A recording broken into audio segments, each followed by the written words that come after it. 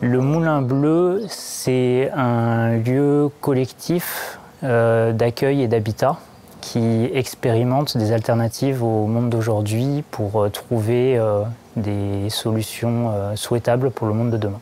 C'est un ensemble de bâtiments, un terrain qui fait 13 euh, hectares à peu près. On est situé sur une rivière euh, avec un bâtiment industriel qui était un moulin à farine euh, jusqu'en 83, qui fait à peu près 1200 mètres carrés. On a une longère dans laquelle on habite et après on a plutôt des bâtiments type hangar. Aujourd'hui, le moulin, c'est à la fois un lieu d'habitation, donc on y a un habitat collectif euh, où chacun a une chambre et on partage l'espace de vie, donc la salle à manger, la cuisine, le salon. Donc on s'inscrit avec nos prénoms. Et euh, donc tous les jours, il faut au moins une personne pour faire à manger le midi, faire à manger le soir. Idem pour le débarrassage.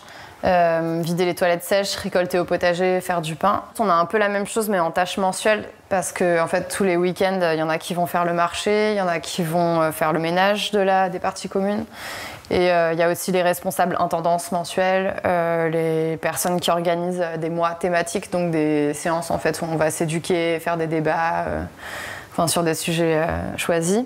Pour moi, impossible à venir habiter ici toute seule ou, ou à deux ou à trois ou en famille réduite en tout cas. on a fait le choix de ce lieu parce que c'est un lieu où on peut imaginer beaucoup de choses. La force du collectif permet un peu de, de revaloriser ce genre de lieu qui où enfin, les activités passées se sont terminées et sinon c'est impossible de le reprendre euh, avec des Quoi. Le Moulin Bleu est un lieu qui, souhaite s'ancrer dans son territoire et donc avoir un certain nombre d'activités qui soient euh, tournées aussi vers euh, le voisinage, vers le territoire.